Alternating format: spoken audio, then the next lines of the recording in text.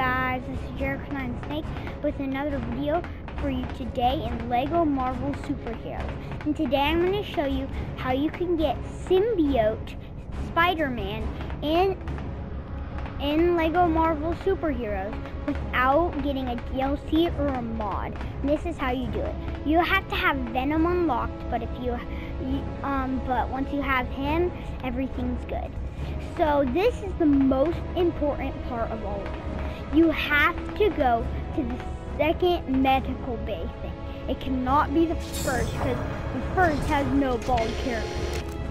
And once you're in here, either choose Captain America or Venom, which I like to start with Venom because it's easier. And then go to head and switch the head Can Agent Holt please report to the medical bay? Your x-rays are done.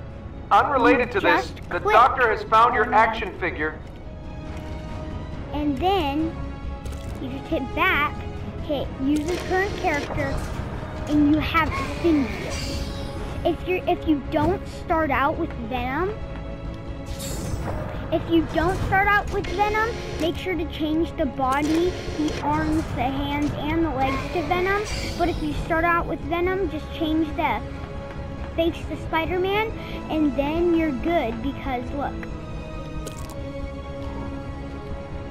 Now you have Symbiote, which he can web sling too. Which he's got all of the abilities of Spider-Man. And that's because he has his head. When you have a player's head, you get their abilities.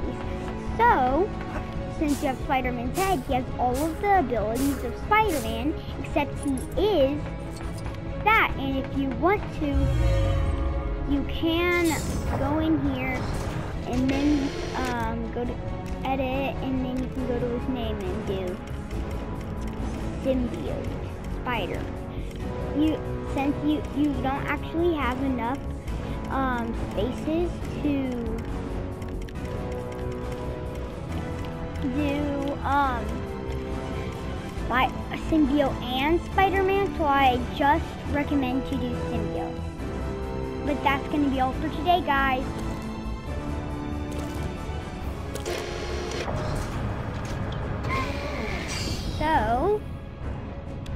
Bye.